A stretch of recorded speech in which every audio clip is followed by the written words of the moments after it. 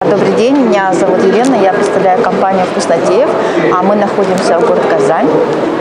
Занимаемся производством восточных сладостей, а, сдобного, сахарного печенья. Также делаем лапшу домашнюю. А цели Какие вы цели и задачи ставите, участвуя на данной выставке? Ну, я думаю, как и все участники этого мероприятия, наша цель – это увеличение объема продаж. После окончания выставки, и, конечно же, побольше а, ключевых клиентов и, может быть, даже и плане что-то нового увидеть и для себя. А какие новинки ваша компания готовит для ваших клиентов? А, на сегодня мы представляем новинки. Это язычки медовые а, с морской солью, сливочным маслом, с карамельной крошкой. Также печенье сдобное Елизавета, которое идет а, сдобное печенье, оно такое то тонкого, м, как- тонко нарезанное, с кружевной, с карамельной крошкой.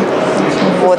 Печенье очень вкусное, также пряники у нас новинки представлены, а с корицей с имбирем, с различными, ну, мятные, как, как обычно, традиционные вкусом и также многое другое. А какой ценовой сегмент вашей продукции? А, ну, сегмент, я не думаю, что, не думаю, что у нас дешевый, но недорогой, то есть средняя.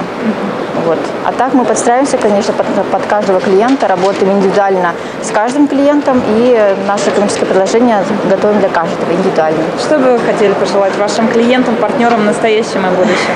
Ну, конечно, бы хотелось хорошего настроения, во-первых, да, побольше клиентов, побольше народу, чтобы все остались после выставки а, довольны э, проши- э, этой выставкой. И каждый для себя что-то нашел и выбрал вообще в, как, в дальнейшем, что ли, в будущем.